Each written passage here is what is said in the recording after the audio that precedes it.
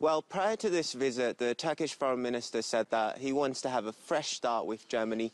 And that's exactly what we're seeing here in this visit. Both leaders, uh, the Turkish foreign minister and Sigmar Gabriel, the German foreign minister, said that the corridors of dialogue should open and cooperation should continue. Of course, relations have been strained since an attempted coup in July 2016 in Turkey, where Turkey criticized German authorities for not standing in in solidarity with Turkey's democratic institutions. But as we saw yesterday with President Erdogan's visit to France, to his French counterpart there, and today with Mevlut Çavuşoğlu in Germany, Turkey is clearly trying to improve relations with Europe. On the agenda, of course, was also the mutual fight against terrorism.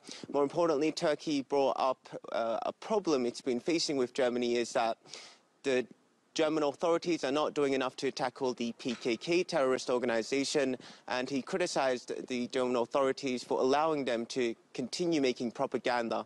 So there are some issues that Turkey and Germany and Turkey and the European Union cannot deal with. But let's take a look at what the Turkish Foreign Minister had to say about solving these issues.